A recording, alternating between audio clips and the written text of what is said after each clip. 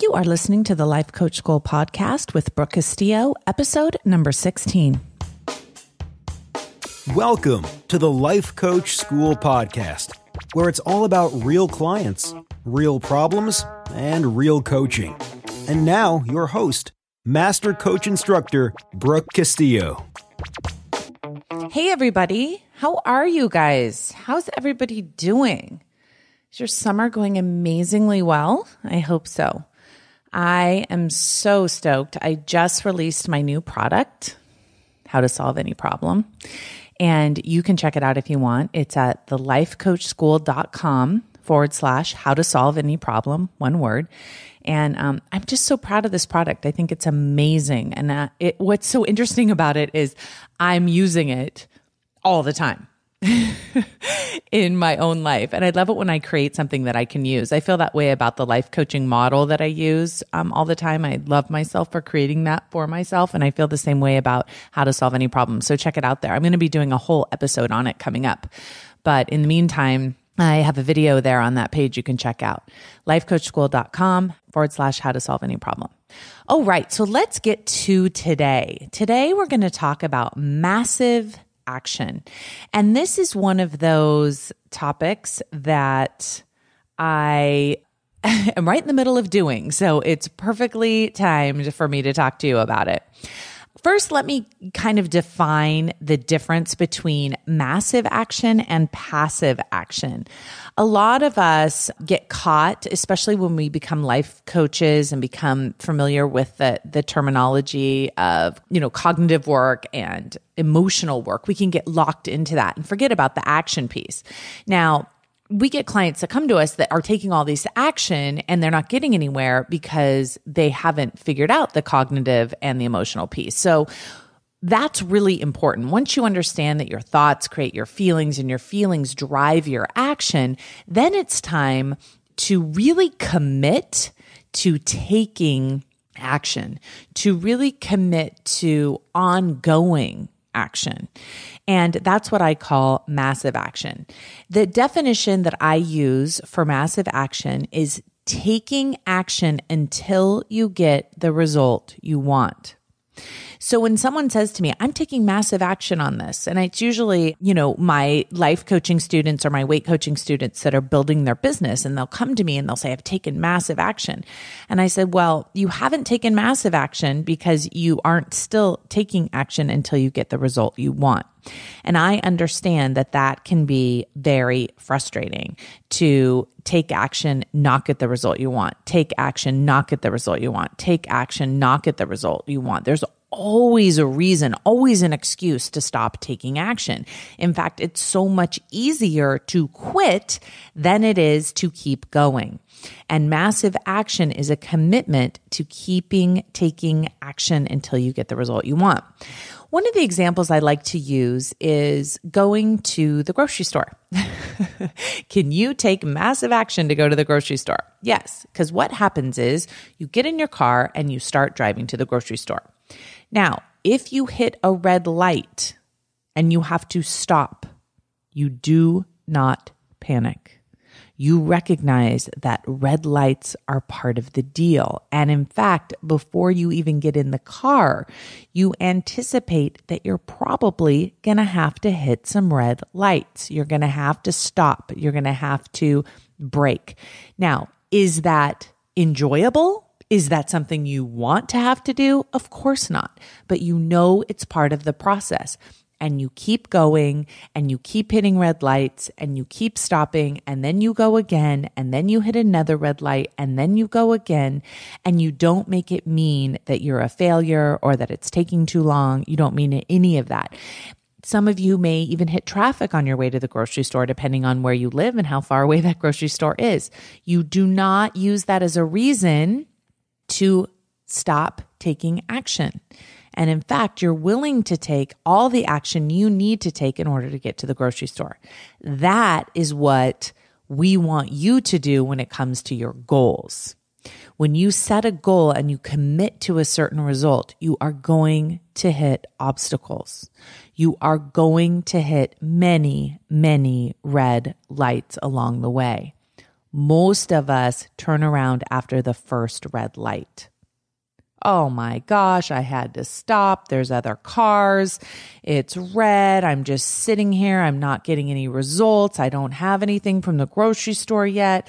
I've driven all this way and here I am. Forget it. I'm not doing this anymore. Literally, that's what we do when it comes to our goals. We hit one obstacle and we throw our hands in the air and we say, This isn't working. I'm out of here. Now, when it comes to going to the grocery store, we have some experience knowing that we can do it. The first time we try something, we aren't anticipating the obstacles. We don't know what they're going to be. So when they come, we make them mean something that makes us quit. So massive action for anything that you do in your life is the process of anticipating those obstacles and being willing to fail and fail and fail and stop and regroup and do it wrong and try again and hit an obstacle and get a result you didn't expect and try again. That is massive action. And let me tell you something, it is very, very rare. Most of us take action once and then we give up. We try a diet. We try a food plan. We try thought work. We try to do a cartwheel. we try yoga. We try everything once, right? And it doesn't work out the way we wanted it to. It doesn't give us an instant result. And so we quit, right? That is just taking action. What I'm inviting you to do is to take massive action. I'm inviting you to keep taking action until you get that result you want. Let me tell you my experience recently with massive action. I am currently working on a project with some other students that are in my school. And it's the first time I've done this project. So I've told them, hey, this is the first time I've done this. You guys are lucky because you're going to get a lot of experience and a lot of me and a lot of time with me as I figure this out. So I've been working very close. I've probably put in about 40 hours worth of work. I mean, and that's really focused, consistent work working with them. And we did some work together and we did not get the first anticipated result. And in fact, it wasn't even close the first time.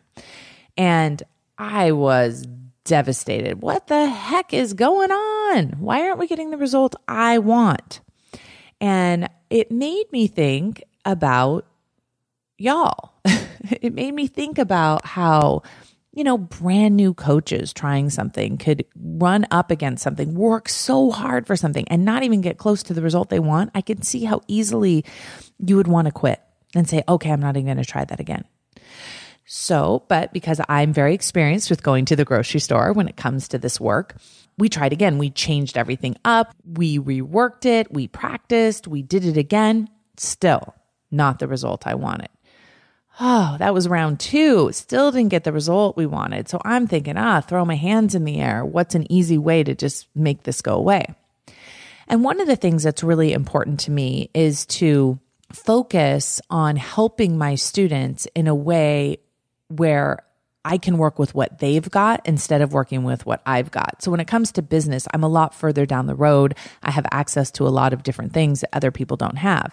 And it's very easy for me to utilize those things and help my students get the results they want. But I don't want to do that because I want them to be able to see the results that are possible for them. So that's why we've been trying all these different things. Now, one of the things that I told myself was, okay, I still have to get the result that I want. I'm still focused on it. I'm still committed. And once I think about the future, I stop focusing on the red lights that I've already hit and I start focusing on the future. My brain goes to work. It knows that these two things didn't work. We're going to have to come up with something different. And I give it time to come up with that answer. If I'm inclined to do research, if I'm inclined to talk to people, if I'm inclined to get different ideas or take a training or whatever, I do that. I follow that intuition, but I still keep my eye on the ball. So I'm actually right in the middle of this process and I feel so excited about it. I feel like I'm getting the feedback that I need in order to make it even better. And I really am excited about some of the pitfalls we've run into, some of the obstacles, because I can see myself working with my certified coaches and sharing these experiences with them and letting them know, hey, these are the things that we ran into. This is normal part of achieving any kind of goal. So understanding that massive action is you keep moving, you keep swimming, you keep going until you get the result you want will really help you get your mind straight. So, massive action, you keep approaching it from different angles, from different ways. You, sometimes you have to regroup, go right back to the drawing board and try again. But if that result is important enough to you, you have to find your way to tap into that positive emotion, that excitement, that commitment you have to massive action, and then take the action required in order to get it done even if the action doesn't look anything like you thought it would. You might have to completely change it up. That's a beautiful thing and it's worth it. And I think it's one of those things that you can do for yourself that teaches you that you will honor your commitment to yourself. Now, here's the other distinction that's really important when it comes to massive action. There is massive action and then there is passive action. So many of us get these two confused. And I just recently have been exploring this concept in my mind and understanding the difference. And I think I have a better way of explaining it now. So I want to share it with you. First of all, passive action does not get you the results you want. It doesn't get you closer to the results you want. Passive action has to do with consumption and massive action has to do with creating. And so when you're taking action, you need to ask yourself, am I creating or am I consuming? Here's what I mean. I can read books on a topic. I can take classes on a topic. I can talk to someone about a topic. I mean, literally, I could read for days on a topic and search the internet on a topic and then go to four more classes on the topic. That feels like action to me. I feel like I'm moving. I feel like I'm taking steps.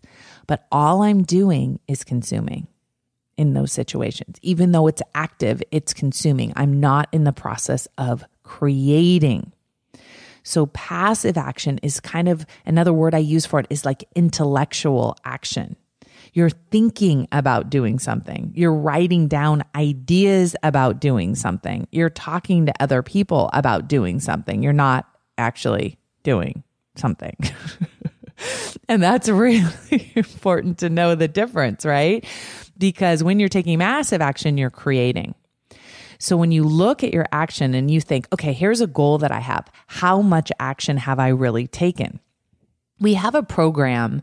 Susan Hyatt and I have a program called the Weight School. And we have so many amazing students come through that school and they learn all about the concepts. They learn all about the different kinds of eatings and the hunger scale and how our thoughts create our feelings and how our actions are determined by how we feel. They understand it inside out and backwards. They tell us we've been taking so much action. We've been reading and listening to everything and we've been doing, and I say, okay, well, how much have you been applying what we've taught you? Have you been eating two to two? Have you been keeping a food journal? Have you been doing and creating in your life the results that you want based on what we've taught you?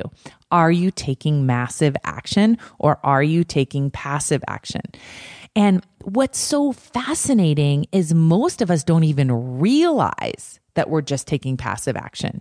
We think that the reading and the studying and the understanding is the action. It's not. It's not the action. Thinking about eating less is not eating less. Learning how to eat less is not eating less. Thinking about working out, planning your workouts is not working out. And that's the difference between passive and massive action. So think about a goal you have right now think about how much massive action you have taken towards achieving it.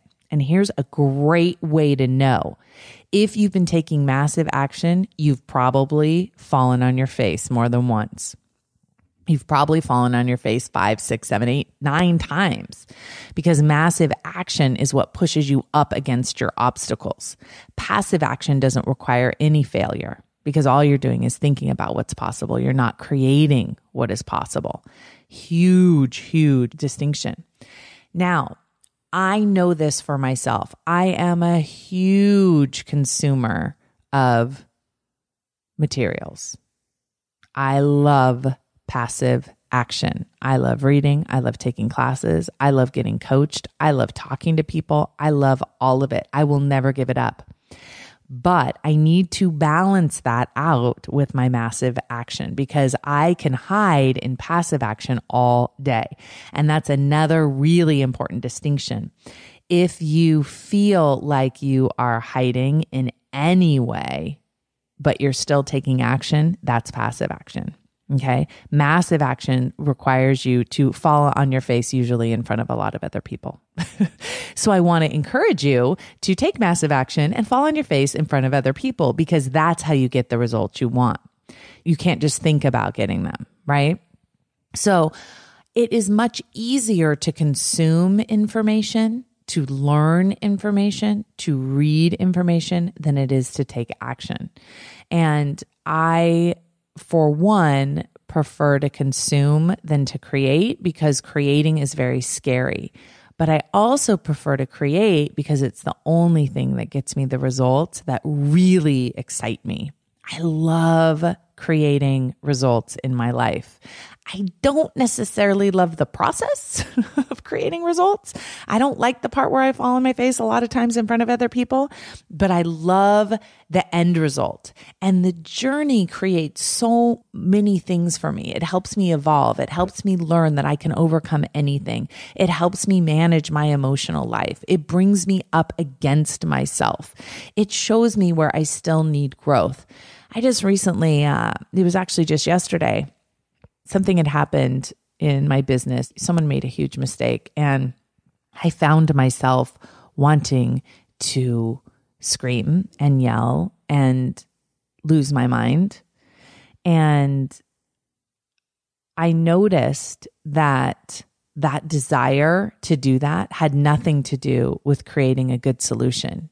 It wasn't going to help me take massive action towards my result. It was just me spinning out, right? It was the opposite of taking action. It was not utilizing that energy towards something positive and something creative. It was just turning it against myself, onto myself. And, you know, it's hard to recognize that in the moment but I was able to recognize it shortly after and turn it around and start thinking about the solution instead of the problem and using all that energy, all of that emotion towards something much more powerful, towards something much more creative and useful in my life. And that was so exciting for me. And so I like to think about you know, resistance and railing against myself as all, you know, internal action that doesn't serve me. I need to pay attention to that and not react to it and then take action that's not reactive. Take action in a way that serves me and the people around me. So I, I want to end this with just talking about the gift of taking massive action. I think massive action is the thing that's going to introduce you to yourself. Whenever I'm dealing with weight loss clients, I say, hey, if you stick with that food journal for 30 days, you will meet yourself. Hello, there you will be. If you commit to eating two to two on a hunger scale, you will meet yourself in all those moments you want to eat when you're not hungry. If you want to build a business and you commit to taking massive action, you are going to go through it, sister, brother. You're going to go through it. You are going to fail, and that's part of the process. You're going to do it wrong. You're going to send an email out where that link's not working. You're going to send, you know, an email that no one responds to. You're going to offer a product that nobody buys and you're going to use that as a reason to quit or you're going to use it as a reason to make that product better, to get more customers, to show up even more. And that invitation is always available to us right? The invitation to quit and the invitation to step into ourselves, to fail and fail. How many times are you willing to fail to get the results you want? Because if you're willing to fail as many times as it takes, then you're willing to take massive action. And so few people are willing to do that. That's why most people don't get the results they want. So if I was going to sell you on something, it would be you. You have what it takes to fail as many times. There is no emotion that you can't experience, right? Whatever desire you have to quit is because you want out of that emotion that you're experiencing.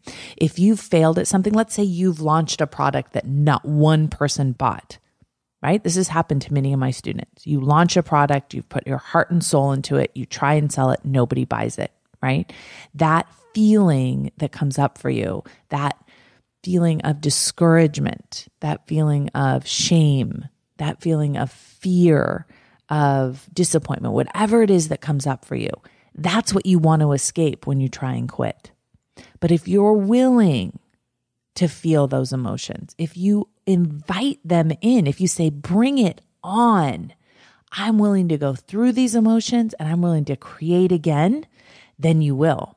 And you know that the worst that can happen is another emotion. And there is no emotion that you can't handle, right? Humiliation and terror, I think those are the worst too. You can experience them. And if you're willing to experience them, there is no amount of action that will, can discourage you. There's no amount of mistakes that can discourage you. You'll find another way. You won't give up. You'll take the action that's required to get the result you want. That's why it's such a gift. Your willingness to take massive action, to recognize the difference between passive and massive action, recognize when you're hiding versus when you're resting. Like people will say to me, massive action just sounds exhausting. I'm tired already. And I'll say, but it's also exhausting to hide. I've talked about this before on this podcast. Think about hiding from someone that you're scared of, right? And they're coming to find you and they will get you and they're going to find you, right? That's exhausting. You're like tense. You're like hiding. You're like, oh my God, I hope they don't see me, right? That's its own kind of exhaustion. Not showing up and getting the results you want is its own level of exhaustion. Passive action, hiding, using passive action to hide is its own layer of exhaustion. But if you're willing to be exhausted in a way that gets you closer to your goal, yes, it's exhausting to try and fail, to try and fail. I'm not saying it's not, but I'm just saying at least that type of action is getting you closer, closer to the result you want, not just spinning you around in circles and circles and circles. So here's what I want to invite you to do today. I want to invite you to find a goal that means something to you and be willing to commit to massive action for 30 days. I will do this for the next 30 days. If you're a coach, write a blog post every day for 30 days. If you're trying to lose weight, write down everything you've eaten everything you've eaten every day for 30 days to open up your mind to curiosity and compassion. Pay attention to your thoughts. If you're just learning this work and you just started following me and you want to learn more about what's going on in your mind, commit to writing down your thoughts every day for 30 days take the massive action. Will you miss a day? Probably. Will you fail? Probably. Will you want to use that as a reason to give up? Probably. But the difference between whether you get that end result that you're looking for or not is if you try again. Will you try it again? Will you show up for yourself again? Will you fail 100 times and pick it up again at 101? That's going to be the difference whether you get the result you want make excuses and quit and go back to passive action and hiding, or be willing to do it again and again and again until you get the result you want. Massive action is the secret sauce to whatever you want in your life.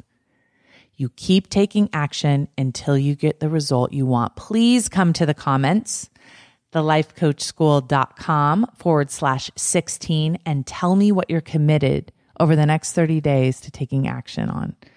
I am totally all in with my students taking action on building their businesses and trying as many things as I can until they get the results they want. That's what I'm willing to do over the next 90 days. What are you committed to doing for the next 30? Share it with me in the comments underneath the show notes. It's been my pleasure to talk to you guys today, and I will talk to you next week. Massive action, everybody. Peace. Thank you for listening to the Life Coach School podcast. It would be incredibly awesome if you would take a moment to write a quick review on iTunes.